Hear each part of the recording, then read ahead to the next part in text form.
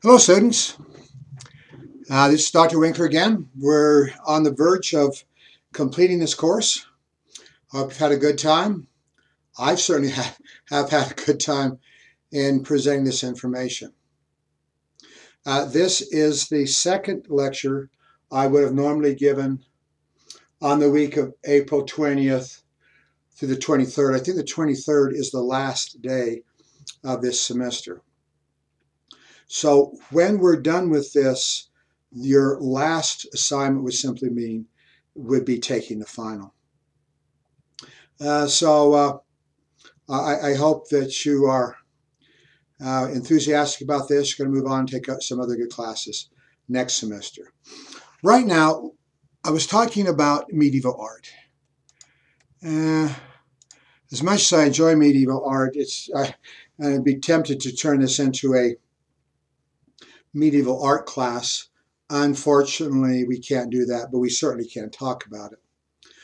Last time I was discussing these issues, I was telling you about the magnificent churches you can see in a few places. These are wonderful Gothic cathedrals that you can see in various cities in Europe. Europe's expensive, as you know, but I urge you to, at some point, get the take the opportunity, if you can possibly manage it, to get over there.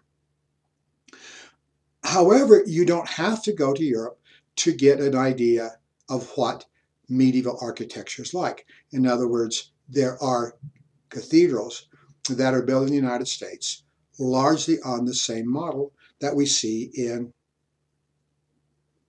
in Europe. And uh, let's look right here so I can get the highlight on right there. St. John the Divine is in New York City. As I recall, you take the subway up to 110th Street, walk over, and there it is. Largest Gothic cathedral in the world. It is absolutely huge. Um, one of the unfortunate things about the building itself, it's never been completed. Decades ago, I was taking a medieval art class, and the professor got up and said, it's not completed. It will never be completed. I go, what are you doing to me? Uh, of course it'll be completed. He says, you know what happens? Every time they get enough money to keep working on it, the prices have gone up. Well, I would like to think that some enormously wealthy people would uh, eventually make make the uh, um, give you enough, give them enough money to complete it. Uh, nonetheless, let's take a look at it just ever so briefly. The uh, this is the facade. Uh, see, it's not completed. It's supposed to have two towers. It only has one tower.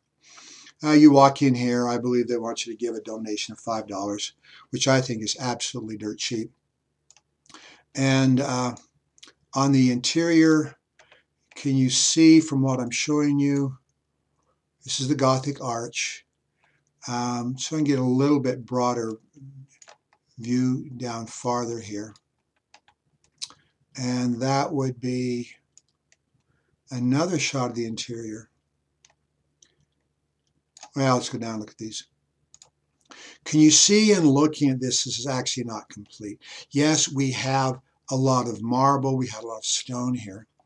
And there is one thing that, that I, I shouldn't say it disturbs me, but uh, there is a mixture of styles here.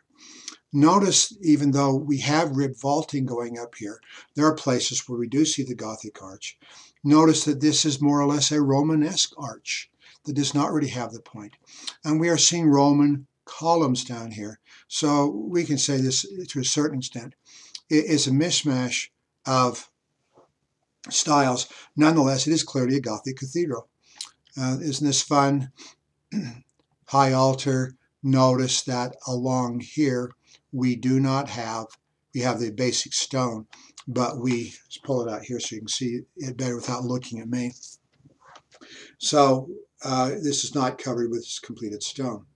Uh, what I say is we're seeing absolutely, by goodness gracious, if you ever get the opportunity to get to New York, uh, uh, go see this. It's really, really quite spectacular.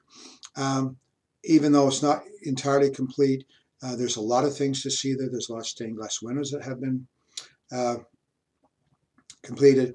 Off the sides, you have these small chapels, which are magnificent in their beauty. Uh, take it in. You might be interested in it. Also within New York City is St. Patrick's Cathedral. Uh, this is farther downtown. Don't remember the exact address, about Fifth Avenue. Any event, uh, facade looks like this. It is very much Gothic in style. Yes, in comparing the size of this with that of the larger churches in Britain, uh, it's not quite as large. However, you do get a good sense of the Gothic. Notice you have, this is the nave, notice you have the Gothic arch. You have rib vaulting. And I got a, on a tour once there, and a lady on the tour, giving us the tour guide, saying some of the stained glass windows were actually done by Tiffany and Company, one of the finer glass manufacturers anywhere in the United States. Okay, New York City, go see it. Uh, Washington, D.C. One of the big advantages of Washington, D.C. is the museums are free.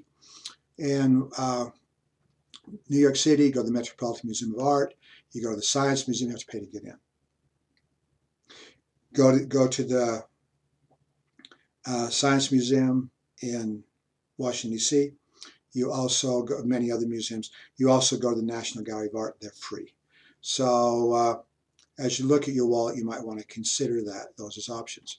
The Washington Cathedral is on the highest point within the Washington D.C. within the city itself, and you can get a nice view up here. It looks down on the city.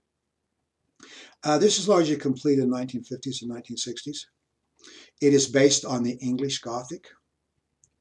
It does not, uh, so we can say maybe the nave is a little bit longer, not quite as wide, perhaps.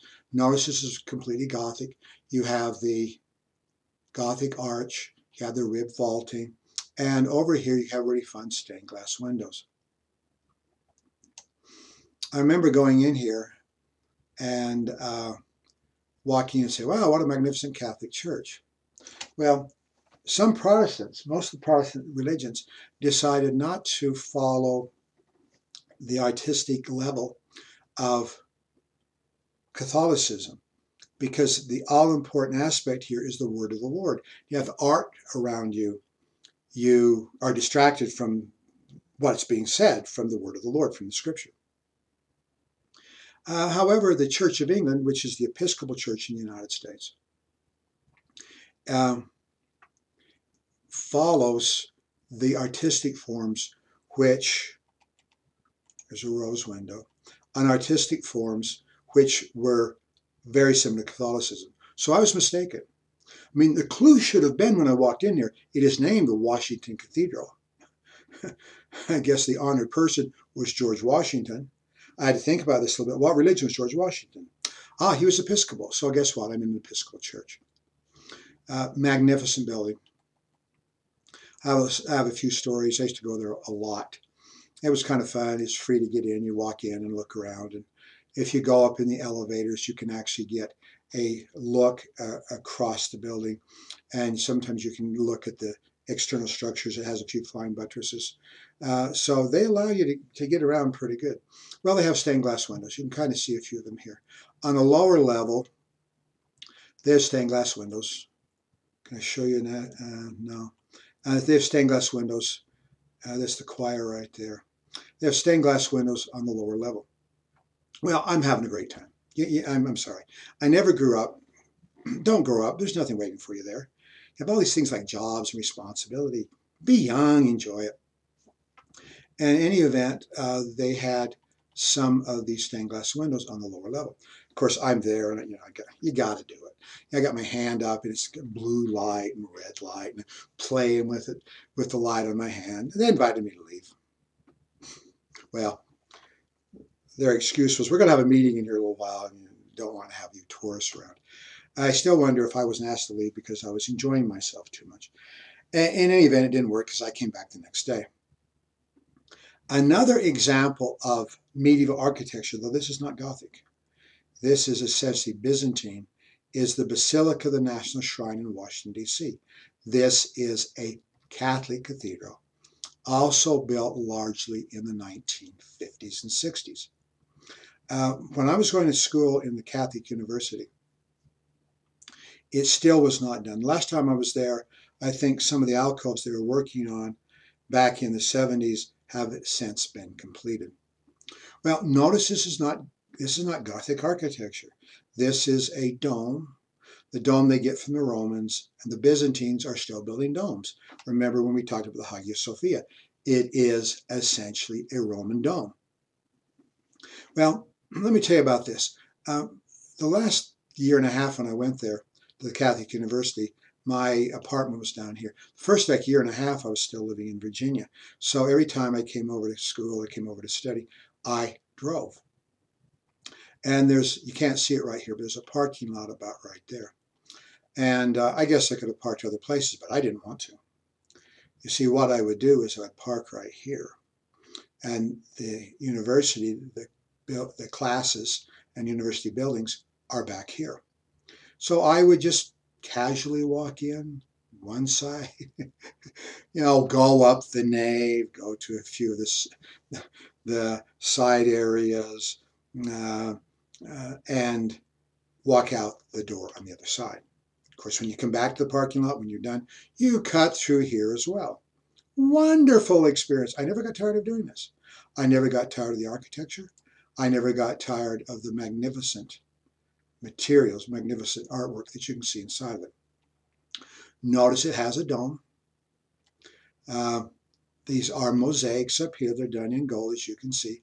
This is the high altar. And uh,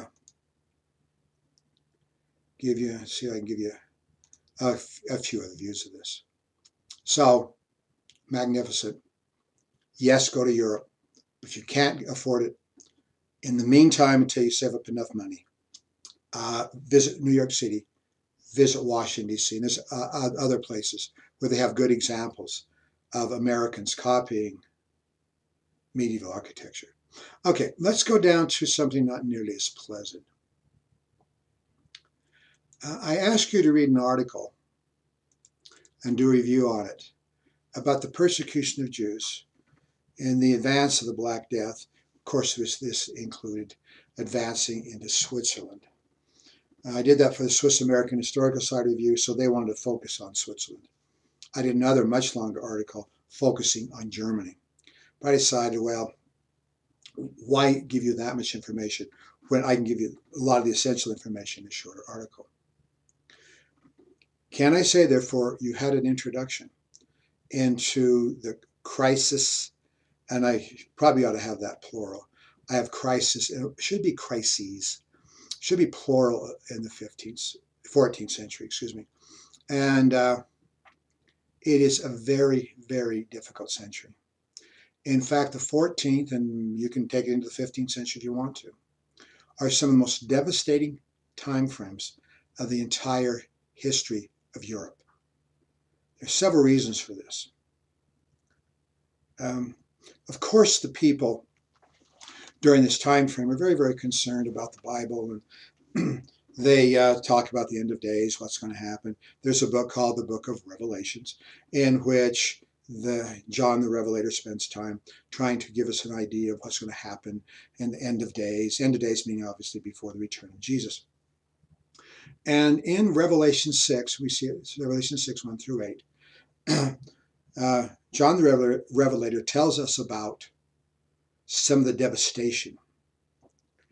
The four horsemen the four horsemen have been depicted in art. Should we get something up here?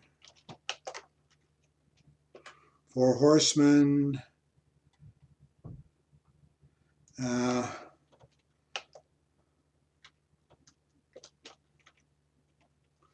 of the apocalypse. Whoa, this is a woodcut done by Dürer. he, as you can see perhaps by his dates, he is late 15th century. Remember, the 15th century is really tough. and you can see some pretty awful things happening here. Uh, essentially, we have conquest, we have war. I think conquest and war are very similar. Uh, can you see this guy right here? Looks like he could use a square meal. He's famine. can all these be indicated as a death? Sure. You got a man with a bow. this character Don't quite see what's in his hand. I thought he had a sword. in other, in, in, any event, uh, we're seeing a belief that a lot of people would be very easy to follow. That this is the end of days because of the enormous problems we have that's taking place at this time frame in European history. One of the ways we look at this and say this is quite a bad time frame is the 13th century is relatively good. Well, we can actually go back to the 12th century as well. Yeah, there are wars, but by the 11th century, the Vikings are out of the picture. In the 10th and 11th centuries, the Magyars are out of the picture.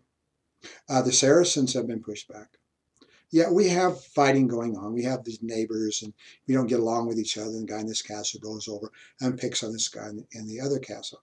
But we uh, do really, relatively speaking, do have a very lengthy time of relative peace. In other words, not as much going on. So there's uh, more peace. Um, I have relatively good. In fact, to a certain extent, Europe is doing too good. Uh, population is growing. It's growing dramatically almost everywhere. If you take floor plans, dot plan, of, of cities in the High Middle Ages, you'll find out that we have the city right here, and then a few decades later, you have to extend the walls the city expands and it expands. It's very interesting in medieval Bern, for example. Medieval Bern is on the on the curve of a river. The, the river is the Aare, and uh, maybe I can show you better.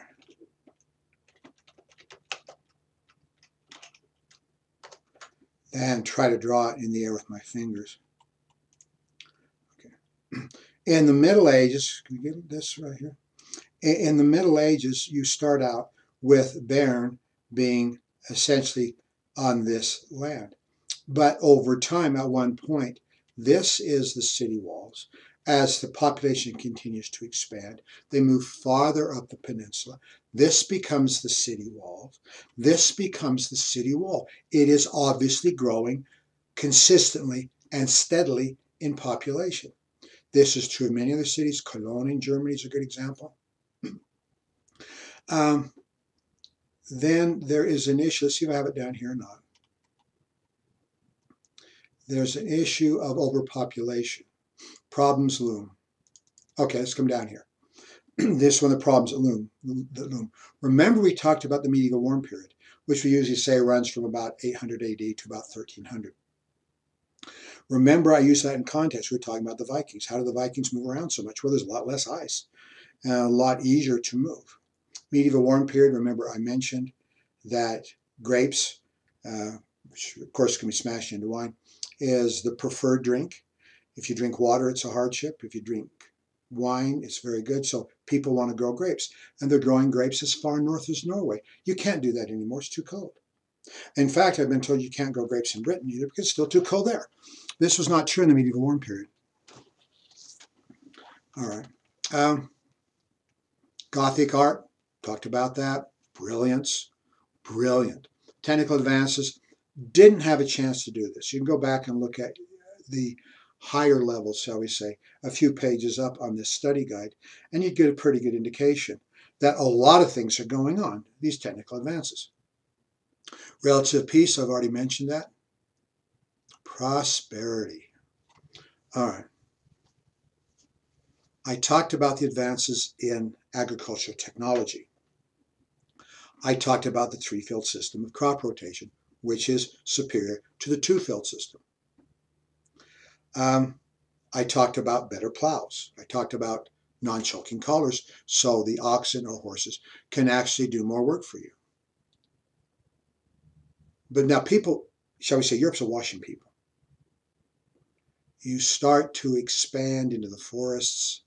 Uh, forests been around for centuries. Now you got to go and get more land there are places in Europe which is very, very challenging. You see, you um, when you farm, you farm literally on the level, do you not? That's the best place. Uh, what if that's inadequate? Um, you start going up on hillsides, and it's hard to grow grain on a slope, isn't it? So what they do is they terrace the land. These people would take much labor to do this. You probably pick and shovel. You get out there, and rather having a slope, you would terrace it. In other words, there would be areas where it's relatively flat. How much work you would have to do to do that is quite remarkable. To get what, a few feet more of grain? Only extreme hunger would push you into doing this. Obviously, there's a lot of people, and obviously, they're, they're need more land. The agricultural techniques available in the Middle Ages, though they are improvement of what had gone on before, are literally very weak compared to what you and I are doing today. On the look, let's look at France, for example. On exactly the same acre in France today, as was the acre that was used in the Middle Ages, we are producing about four times as much wheat, higher yields per acre. So there's still, relatively speaking, low yields in the Middle Ages. Yeah, yeah, you're awash with people, but you do hit a level at which using your agricultural techniques and the amount of land that's available, the, how much you can actually produce. A few diseases, well, uh, remember one author was saying, oh, there's really no diseases. Well, there's diseases. We've talked about smallpox. One of your big problems, of course, are going to be hygiene. Um, can we say, how, however, if you want to compare this to the Black Death, in reality, yeah, there's diseases. But uh, there are still problems. Nonetheless, the population continues to grow. And that's what I'm talking about right here. Overpopulation. More people than the resources will sustain. The environment is exploited. I talked about cutting down the forests. Use of forests for building materials. You need the land to grow grain. And you also need them as building materials. When they are building some of the Gothic cathedrals, you have to have support timbers that are quite large. And in many respects, they cannot get them in Europe. They have to send as far away as far away as Russia to get them. Obviously, the great forests are gone. Well, environment exploited, technology limited. Well, then we get hit with a major problem. Now the weather decides to go cooler. Quite frankly, it decides to go colder. I've got this down as a weather disaster. Clearly, that is the case. It is much colder now than in the medieval warm period. Um, geologists will tell us, looking at the evidence we have in advancing glaciers and retreating glaciers, um, there is a way you can tell how hot it is. Um, see, archaeologists can go into soil samples and you can go down to the appropriate level 800 years ago, 1,000 years ago, 2,000 years ago, and you can examine the soil that was made at that time frame. By the spores that are in the soil, you can tell what kind of plants were around. So if you have warm weather plants, it was warm at that time frame. Cold weather plants, it's colder that time frame. So you do get an indication by examining the soil as to what the weather was like. Now we have other, other historical records that verify this. But in examining the soils, we find out that it's warm in the in medieval warm period. It's colder before that time frame, it's colder afterwards. The geologist will tell us that in Europe there's roughly a 1500 to 1600 year weather cycle where it goes from cold to warm to cold again. Why would this be? Uh, remember when I was in grade school, teacher says the sun gives out a consistent amount of energy. So when I got in grad school, I was shocked to find out that that is that might not always be true. Well, the simple answer is we don't know why, but uh, let's look at uh, just a couple of the theories. the sun has less energy is there a cycle in the sun in which, as it produces energy, there's times when it produces more, there's times when it produces less. Obviously, the major heat source in the world by far is the sun. And if there's a change in the amount of amount of heat that's coming out, that's going to make a big difference. Well, sun has less energy, possibly. Uh, something happens. Now, sunspots aren't really discovered until we get the telescope. Galileo discovered them, I believe it was the year 1610. And that's when he starts taking his astronomical telescope and looking around. He sees the moon, he sees Jupiter. Um, he doesn't look directly at the sun, obviously, that would totally blitz your eyes out. So he put the, he aimed the telescope on the sun, and the light came through and hit on a piece of paper so he get an idea what the sun looked like by looking at the piece of paper. And he discovered sunspots. He's not the only person to observe the use of astronomical telescope. So other people, even after he's dead, uh, are looking at the sun. And then a few decades later, um, the sunspots disappear. They don't see them anymore. Uh, we call this the Maunder minimum, Maunder minimum, we should say right. Uh, roughly, what's that, 60 years? And no sunspots. Um, okay. Then after 1715, the sunspots reappear. And as you well know, there's a sunspot cycle. And it was about 11 years. And the sunspots have been observed ever since then. However, in the Maunder minimum, minimum, there are no sunspots. At exactly the same time, we say this is when the cold, sometimes we call this the little ice age, the cold becomes the most severe. During the Maunder minimum, we find that uh, along the coasts of France and England, uh, the harbors freeze over in the wintertime, every winter. The canals in Holland freeze over every winter. Uh, I don't know how often this happens anymore. Back 40, 50 years ago, they were saying that they freeze over about once every 20 years. You just simply have to have that cold of a winter. At this time frame, they freeze over all the time. Uh, so we have good indication. Glaciers are advancing. We have good indication. It's very cold this time frame. Is there a connection between the sunspots? Maybe. Uh, it's very doubtful that this is somehow accidental. Uh, another theory, the Earth changed its orbit. Really? You, you see, we have some large planets, Jupiter, and Jupiter's, you know, a dot out there, it's a long ways out, but the argument is that there's pull on this, that the gravity of the of Jupiter would pull on the Earth in every Earth orbit, and over time it could pull it out a ways. In other words, our orbit could become a little bit larger. If we're just a smaller distance away from the Sun, in reality, you would probably have a, uh, a colder atmosphere, a colder time. Well, my problem with this is, I'm not an astronomer, so I'm way out, out on a limb in this case. What would cause it to get warmer and what would cause it to go back? If Jupiter's pulling out, how would Jupiter end up pushing it back in 800 years? Uh, once again, I, I, I, don't know. But I have heard that as a theory. Volcanic activity. Or was there just more volcanoes around the world? And they put more pumice in the air, which blocks some of the sun and make things colder. I guess. I guess it's a possibility. Um, whatever the cause is, it is fairly regular. Now, let's play historian a little bit better. If the medieval warm period is like 800 AD to 1300 AD, um, you have to have a cold cycle as well. Well, we go into a cold cycle after the medieval warm period. How about before that time? Is it cold as well?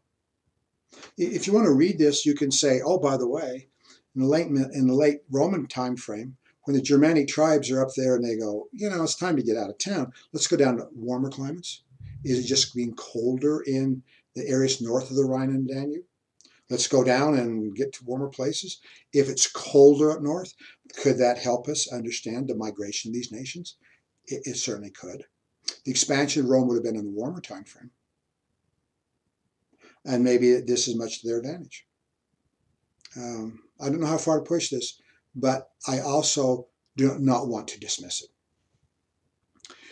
Whatever the reasons, it has been warm and now it becomes cold.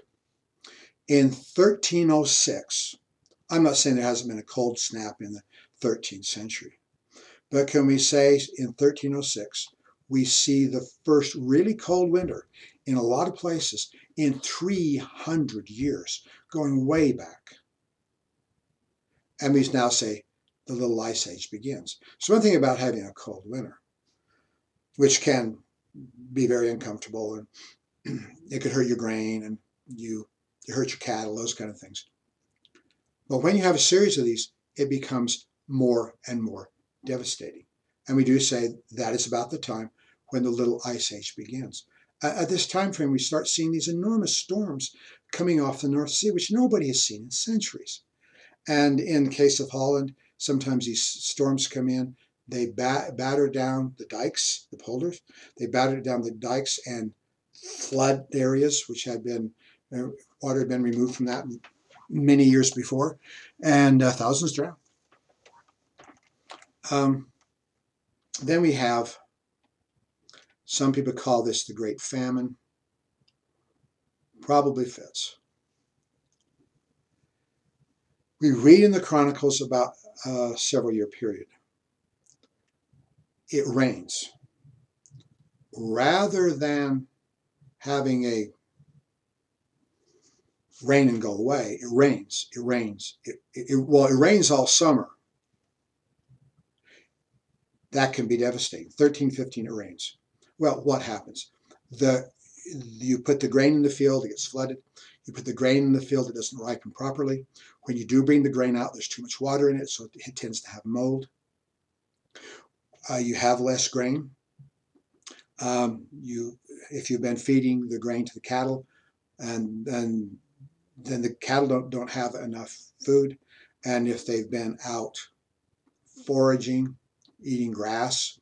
Uh, the cattle don't give enough, enough of that either. They sicken and they die. That's extremely painful. When you put these kinds of years in a row, 1315, 1360, 1317, you can see how this can build up, how this can end up being an extremely challenging scenario. Then we get to 1322. Some historians, reading the Chronicles, uh, will say this is the very, very bad time. In 1322, some, some historians say that it doesn't really get better, it gets somewhat better. So you could actually take this, rather than going to 1317, you could take it all the way to 1322. Um, this is this is absolutely devastating. Uh, let me pick on the year 1315. Um, as you know, I'm interested in medieval Swiss history. In 1315, uh, the Austrians, with their German allies, decided to invade Schwyz in the central part of Switzerland. And uh, as we read the chronicles, they come there with ropes. And the ropes, what they're going to do is going to take the ropes, they're going to go get the cattle. In other words, they're going to plunder uh, the areas of central Switzerland for their food resources. They want their grain, they want their cattle. Uh, this is very important in Swiss history because the Swiss figure out a way to ambush them and throw rocks on them and come down with their battle axe and cut them up. November 1315. Maybe one of the reasons why the Habsburgs, the Austrians, take this political decision was for economic reasons as well. You do need more food and one way you can get it is by plundering your enemies. Of course, this is commonly done in the Middle Ages. Uh, we like to read about battles. Battles are important in Napoleonics. Battles are important in World War II. We read about battles. In the in the Middle Ages, battles did happen. They're relatively rare. Most of what we see are, are skirmishes. What you do when you go to war with some another nation, you go in and pillage and plunder and take things. So even if you weren't desperate for food, um, you would not be surprised if people came in and stole some food. Anyway, well, who well peasants starve. Uh, their resources are relatively limited. Um, very often in a famine, you have a famine in one place, but there's other places nearby that in effect will have food. So you can buy it if you, you can afford it. You can get it from someplace else. When you have this general problem in many areas of Europe with extensive rain, then where do you go to buy grain? The nobles starve. The, excuse me, the peasants starve. The nobles, well, the nobles are relatively well off. They've got money. They've got granaries. So they suffer much less than the peasants do.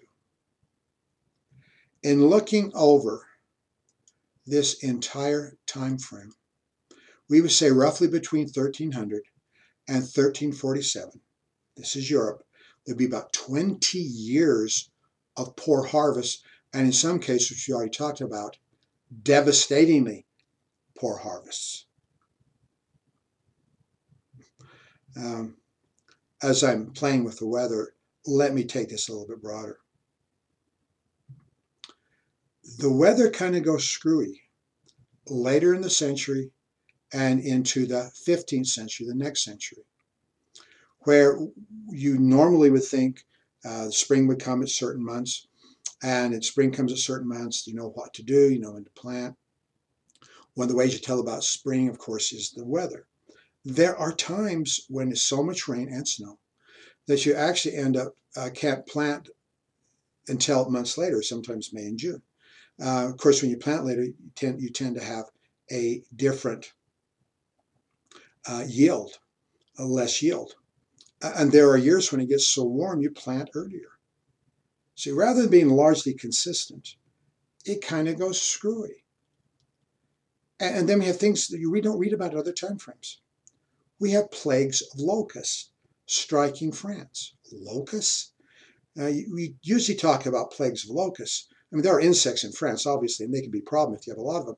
But uh, usually talk about insects down in Africa and the Sahel, various areas of Africa. It can be absolutely devastating. You have large numbers of these little critters, and they, they, they'll eat, eat, you, eat everything you've got. That's down in Africa. For them to end up in France, you probably had a lot of locusts in northern Africa that would actually blow into France. And obviously, this is fed by a certain amount of rainfall and wind patterns and, and temperatures. But when you have a plague of locusts striking you, they're going to eat up a lot of your crops as well. So yes, I'm talking about the buildup here to the mid-century, but this is not the only problems we are facing. Um, can we say at time frames when you have less food, violence goes up because people want more food. They, they're willing to rob, steal, and get it. Uh, as I've already was speculating about 1315, you got people going to war for more food and then you get war. I've mentioned this in a couple of contexts already. Let me mention it again. The Hundred Years' War starts in 1337. Now you have English armies coming into France over and over and over again, largely because of the English longbow. You have the inability of the French to actually defend themselves. Even large mounts large numbers of mounted knights. Later on, wearing plate armor, uh, and you can't still still deal with these with these armies. and going back to the idea that a lot of times in the Middle Ages, um, armies were not fighting as many battles; they're fighting for resources. Because it was so hard to stop the English, the English went on what they call a chevauchée. Uh, this is a big raid.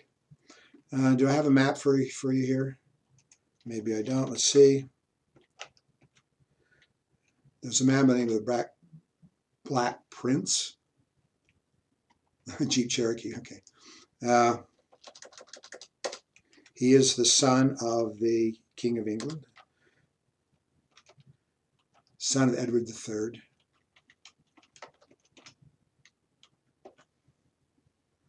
Yeah, He's famous for wearing duh, black armor. Well,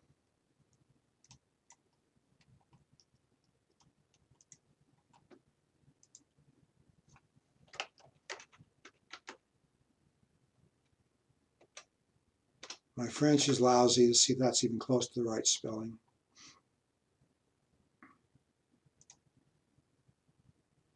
Okay, uh, we have a number of these.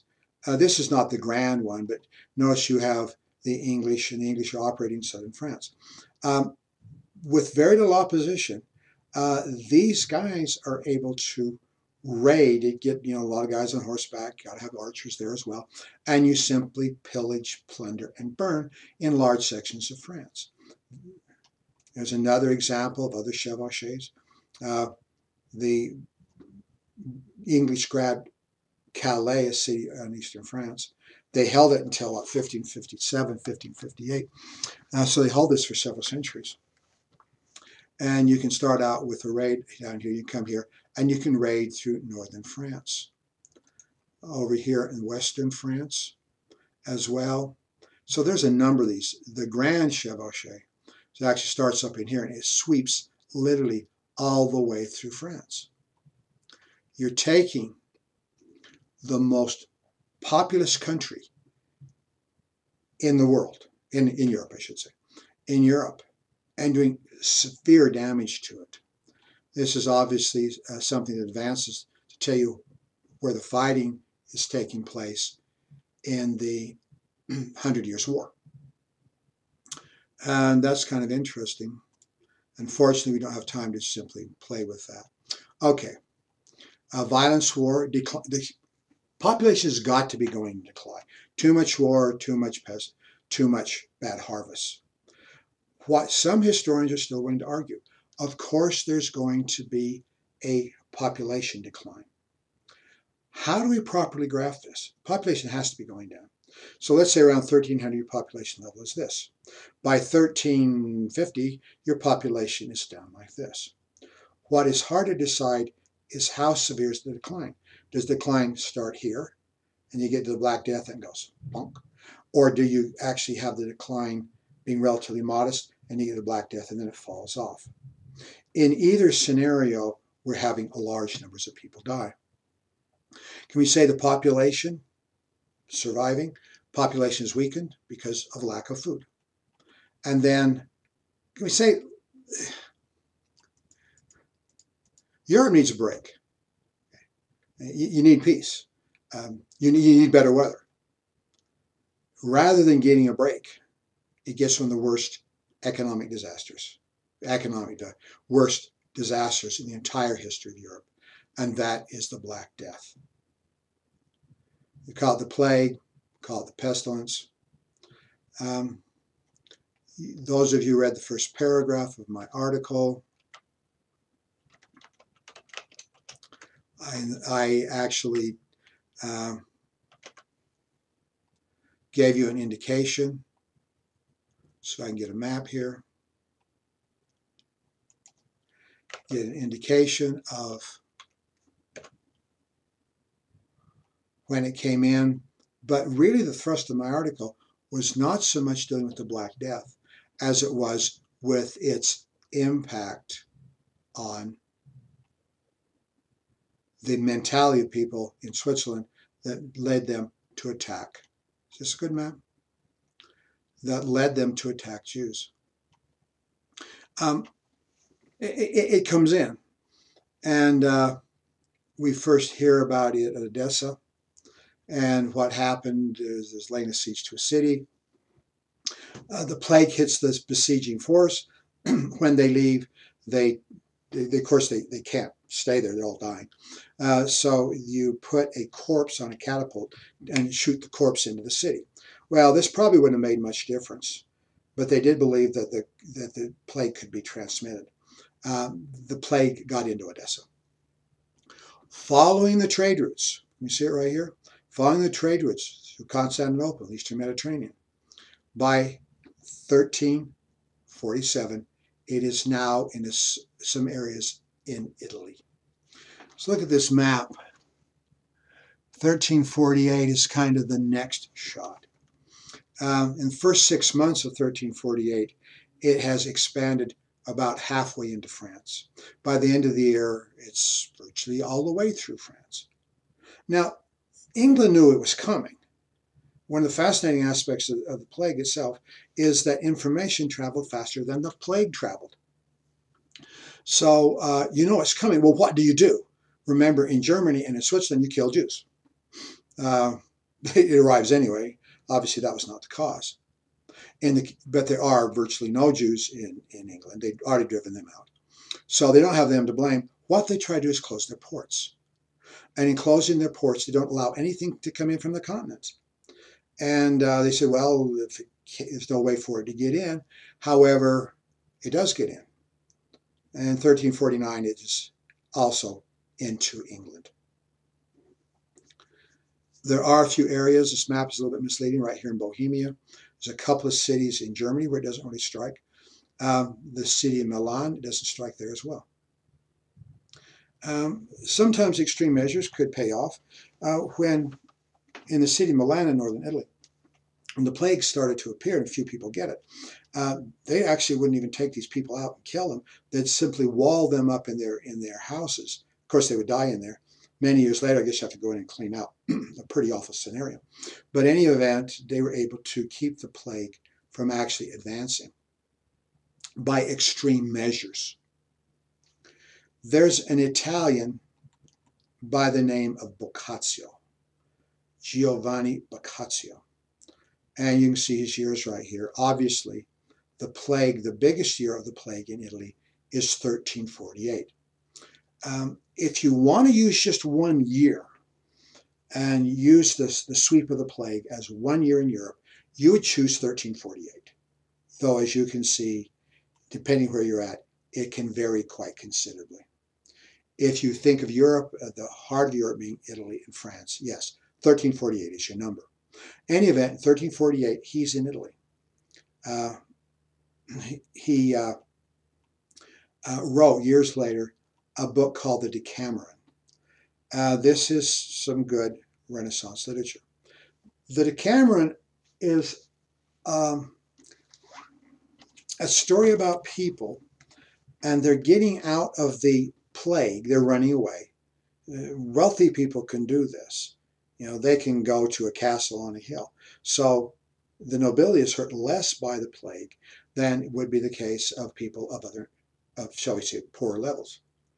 And well, what are you going to do if you're up in the castles with the doors locked? Well, why don't you do this? Let's just sit around and tell stories. An art form which you and I kind of forget my grandma's time frame, my parents' time frame, one of the ways you entertain your kids is you get those, you tell those kids stories about how you were growing up. You get connected more to your parents and grandparents. When I was growing up, you put your kids in front of the television set. Nowadays, I put my kids in front of computer games, and uh, you're entertained in a lot of different ways. But people talk back then. This is not to be surprised, not surprising at all. And Boccaccio recounts the stories what these people are telling. That is a number of short stories as brilliant Italian literature. Now, but he's an eyewitness. Before he gets into his story, he has to tell why these people are hiding out.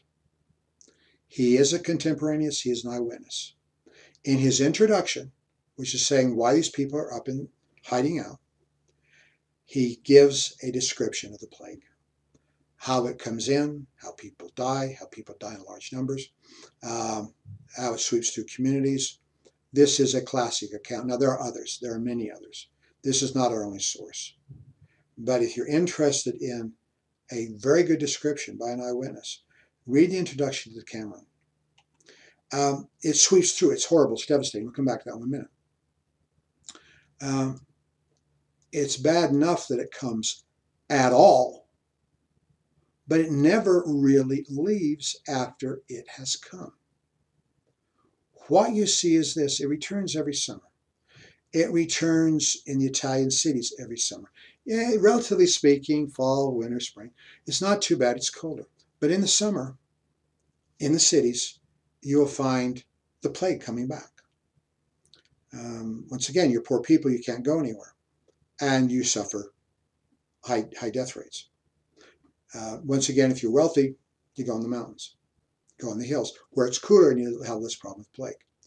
I'm not saying there is nobody that ever, no noble that ever gets gets killed, because the wife of the king of Bohemia actually got the plague and died. One of the daughters of Edward III of England, who's going down to marry a prince in Spain, she contracts the disease and dies. But it's abundantly clear, however, that the death rates among the nobility is not nearly as high as it is among the peasantry, the lower classes. So it returns every summer. for whatever reason, we read about battles, we read about men, bodies laying dead in the fields. Uh, the plague comes back then as well. They feed off the uh, bodies, I don't know. It seems like every generation, the plague comes back in a stronger form. Now, the largest number of peoples that were killed, the largest percentage of society, was actually in the first wave, the first time it came through. But in 1360, another major wave sweeps through Europe. And in this case, uh, fewer percentage people die, but it's still very devastating. And some contemporary observers say this is even a stronger, more virulent form of the plague than had been the case earlier.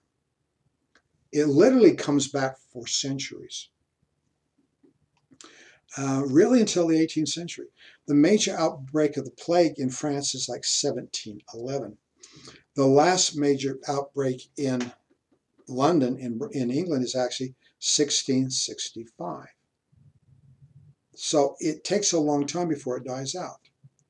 Virtually every generation has to face a major outbreak, and every generation in every year is going to have to be aware of it's a problem in various places. We said influences the entire era. There is a um, can this affect your mentality? Let's stop, hop up 150 years after the time frame of this course, after 1500. And we get the Protestant Reformation. We have people thinking religion differently and coming up with different religions. Well, one of the things in the back of people's mind is, you know, let's get religion right. Because we want to get religion right because death is right around the corner. The idea of and you can live a while if you're lucky. If you're unlucky, you die very young. You might want to get right with your with your maker before this happens. Um, also, when we're talking about the Renaissance in Italy, which starts about the time from the Black Death arrives, and they're also thinking in terms of getting right with the Lord. And we see in their art a reflection of the church paying artists money to present information and for religious themes. Uh, can we say it influences people's mentality? Absolutely. Influences literature? Yes, it does. Well, what is it? It's the bubonic plague. Do you like terms? Let's see if I can read that correctly. Yersinia pestis, all right. Uh, you you uh, people studying medicine or going to be studying medicine might want to remember these names. Um, uh, I've been following this for decades. It's been an interest of mine for a long time. And I'm trying to follow various arguments. There was a time where I think some historians had very good arguments that maybe it was not the Black Death at all, that there are other diseases that have similar, like anthrax, uh, spread about the same way, about the same rapidity. In other words, rather than following trade routes, you can say that they were actually following the weather patterns in other words, the winds tend to blow in this direction through Europe. I think that a very good case. However, there are a lot of corpses that have been found where people died of the plague. And let's examine their corpses and found out the DNA within their teeth uh, confirmed that it was, in fact, Black Death. So the theories it was anthrax or something else at this point, I think, uh, lack some merit. In fact, they're probably incorrect. Well, there's two forms. I know you're aware of one. One is when you have the rat, and the rat lives nearby, and these little fleas, man, they loved it, eat rat blood, and they eat rat blood, and they got disease among rats. And with the flea, after a while, uh, when the rat dies, there's nothing else to drink. So he hops around, hops onto people, and he takes a nice little bite out of you and he takes the disease, therefore, from the rat into the human being. That is a killer. Not everybody dies.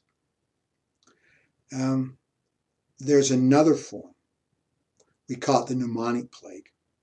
The pneumonic plague, for whatever reason, when you do get the bacillus inside of you, the Black Death, sometimes it goes into your lungs. And when it goes into your lungs, uh, your lungs get inflamed, and it destroys your lung tissue and you start coughing out blood. There are instances where people seem to be fairly healthy, walking down the street, lean over, start coughing, they coughing up blood and literally die on the spot because they can no longer breathe. This can literally knock you down at any time. The mortality rate on that has been calculated something like 90%. Some recent studies have talked about, well, who died and who, who didn't die. There are people that die from the plague. There are people that get the plague and don't die. And then there's people that don't get the plague at all. That's probably the best of all scenarios. Um, what's the difference between a person who gets the plague and dies and gets the plague and lives?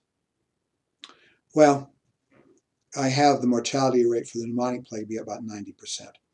Um, if you get it from the flea, your death rates were more like two thirds.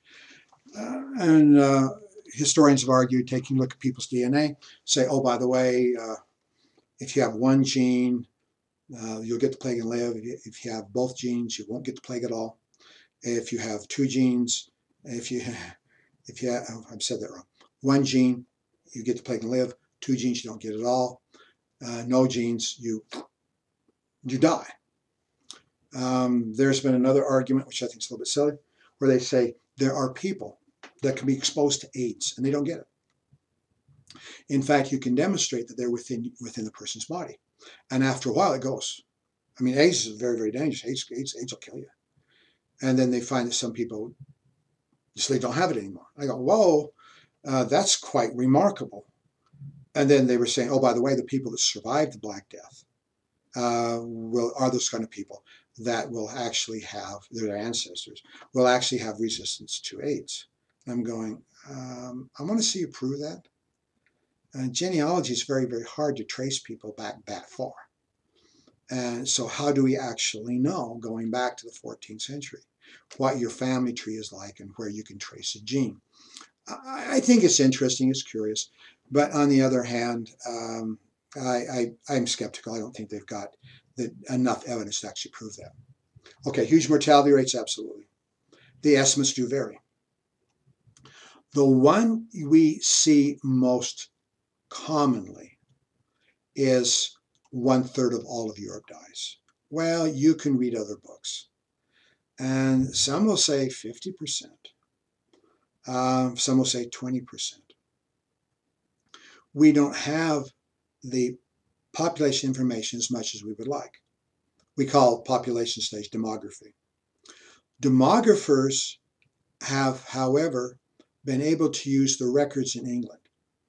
England has some of the best records from the Middle Ages. Almost historians from almost every country would literally hold their breath and turn purple to try to have the kind of sources in their countries as you have in England. At the beginning of the plague, we believe that there were about 4 million people in England. At the end of the plague, we have very good reason to believe there's about two and a half million people in England. So that's one third. That, that fits relatively nicely. I mentioned earlier, kind of in passing, there were a few areas that were not initially hit by the plague. That's the first round. The plague came and got them later. There's no place that actually escaped, at least for a lengthy period of time. well, dem demographic records, population records, can we say, are stronger in cities. That uh, in places like Florence, and remember Boccaccio was a Florentine, so his eyewitness accounts would help us understand what's happening in Florence. As we look at such issues as wills and taxation records, and we look in cities, we find that in the case of Florence, about two thirds of the people there died. Whoa, big, big loss. Um, these are estimates I've seen. I'm still conservative. I still think one third is correct, but I've seen from 20 to 80% of the populations die in many cases. A recent study, which I found very exciting when I found out about it, I had gotten by the book really fast. And, and historians in London have taken a little bit different, different approach. Uh, they look at wills, probates. They look at documents that tell us about when people are dying.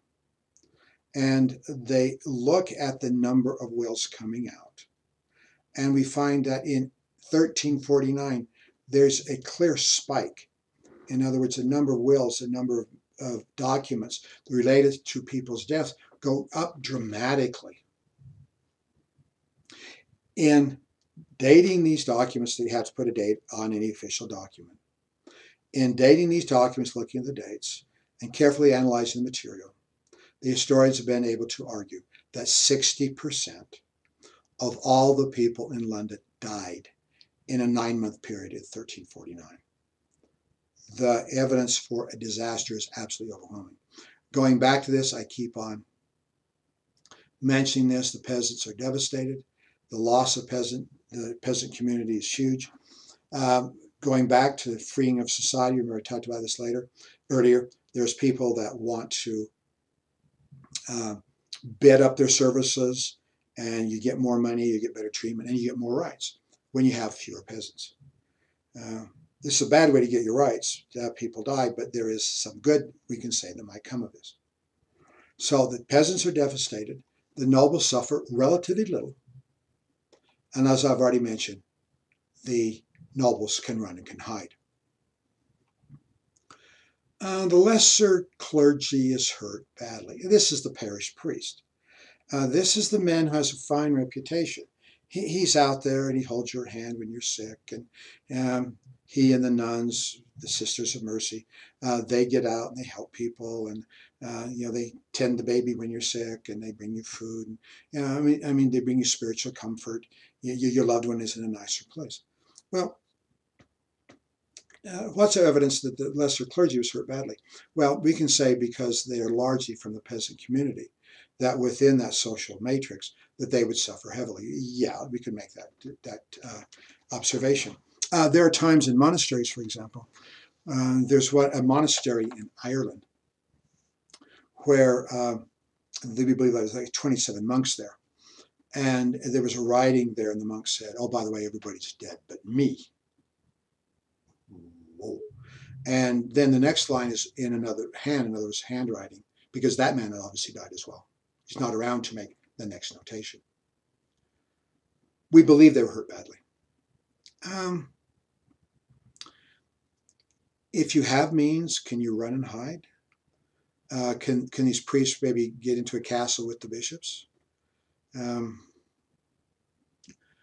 do they have that opportunity to try to escape what's happening?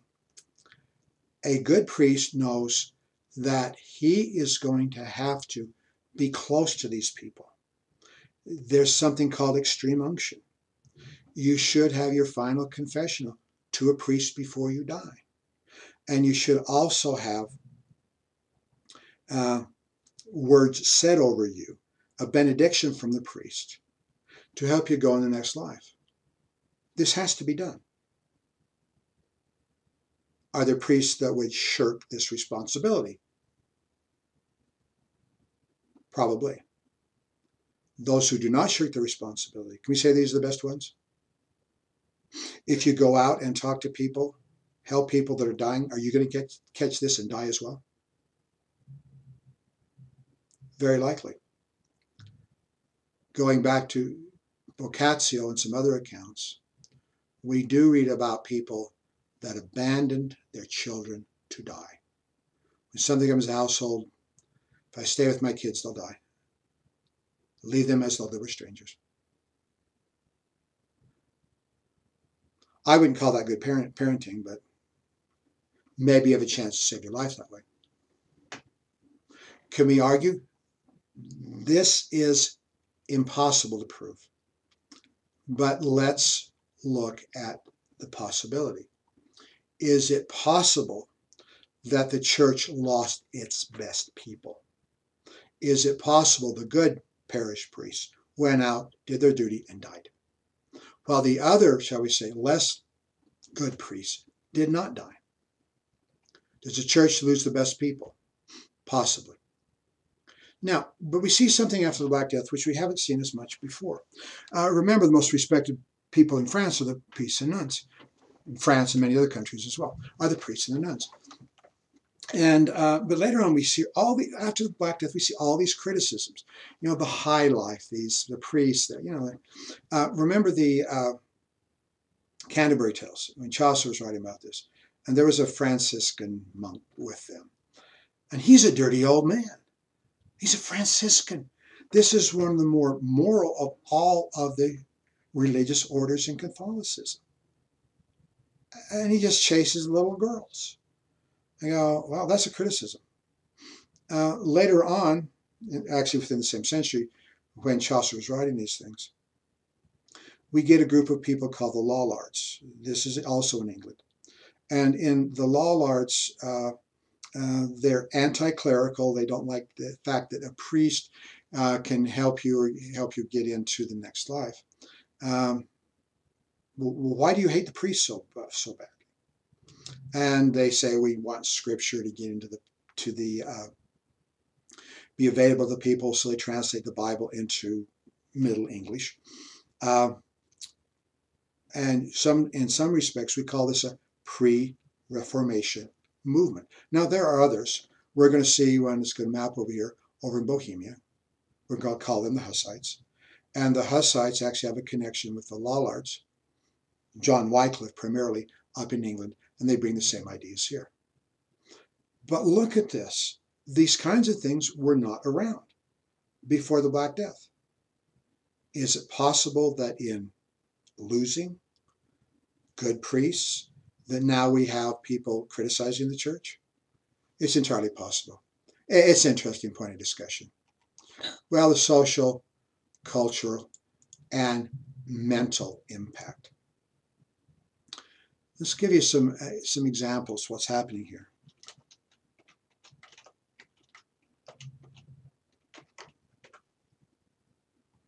The dance of death as an image. And we have a number of good artists in Italy. Uh, sometimes we say these people are working toward what we later call Renaissance art. They die in the death. They die in the Black Death. 1348, we lose very good artists in Italy. Well, what is art like in the next generation after that? Uh, some art historians call it retardataire, and others retarded, and others backwards. Rather than making progress artistically, it's going backwards. And uh, these are some of the medieval motifs we see. This always gets me because the, the death, these skeletons, they're, they're having a great time. Um, my idea of death is always a little bit different than that. Um, death stalks everybody. Here is, I guess that's a merchant uh, carrying his goods and services, and the death comes and gets him. The death is grabbing the churchman in this case. Death is grabbing, let's get her up here. I'm not sure who she is. Sometimes as you look through these things, you even find people of higher social status uh, where death is around you. Uh, negative mentality. Know, things are bad, certainly.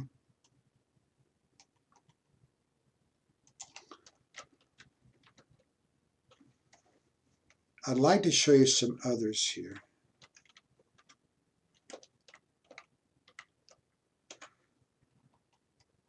Got the map up. I'm looking for his Black Death. Art. Okay, we've got the Dance of Death. Let's get some more images up here. The one I actually wanted to show you is a fresco. And that's not it. But anyway, we have people making caskets. Can we say this art form is not as advanced as it was before the Black Death? That's why it's retarded to a certain extent. Um, there is one where they actually show large numbers of people carrying caskets to graveyards. My luck is not with me. I'm not seeing this easily. But uh, try it one other time, and give up.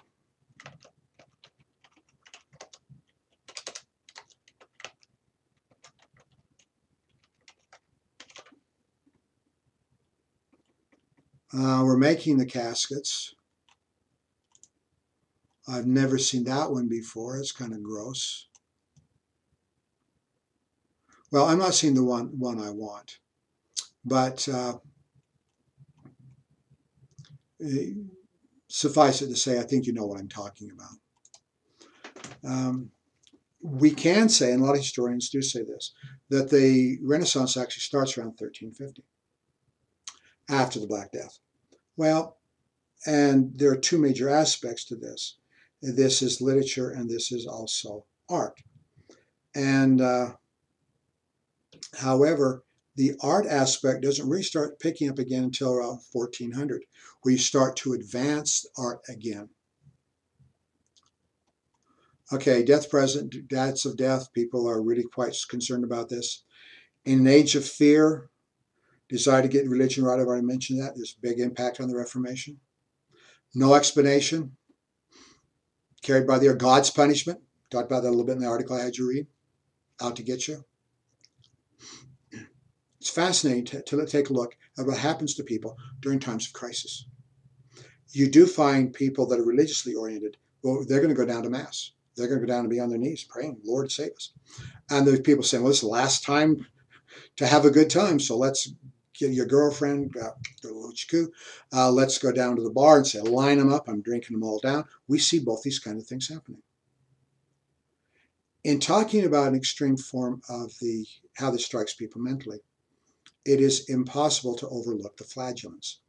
These are people that say, we are being punished by God if God did not want this to happen, he would not have allowed it to happen, or he would not have sent it to happen.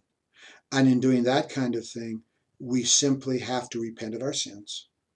But why don't we punish ourselves so Lord, in his infinite mercy and understanding, will not punish us as well? Groups of these people, sometimes they go from town to town, to village to village uh, flagellants, they whip themselves, among other things. They do bad things to themselves. They get pieces of metal and, and cut themselves. They cut their genitals. Uh, they whip themselves, sometimes ferociously. And of course, a lot of people are saying, what are these kooks doing out here? But a lot of people come out and say, gee, I'm glad they're doing it, not so I don't have to. But you could see the extreme mentality involved in these people willing to take extreme measures to try, even the point of torturing themselves. And sometimes there are accounts of these tortures are so extreme that you think these people are actually killing themselves. Only extreme fear would cause this. Well, I would love to tell you about many other uh, items, many a lot of more materials. Uh, had I burned through this a little bit better, I could tell you a little bit more about the Renaissance, which is fascinating. One of the best things I could do about the Renaissance is look down here is art and literature. So I could have big discussions on Renaissance uh, architecture, art, sculpture, that kind of thing. Unfortunately, I can't talk about any, anything, everything in a, in a short class. I have enjoyed teaching you this class. I've enjoyed the interaction we used to have while I could still talk to you personally. Um, you're very good students. Uh, your papers were very impressive. And I uh, overall your, your examination is very good as well. So let's just put a very good picture on this. Uh, you're done, finish out the semester, uh, get your grade, and hopefully everything will improve. And if you decide to take another class from me another time, hopefully we'll be able to meet in person. In the meantime, I appreciate you and hope everything's going very well. I'll talk to you again another time.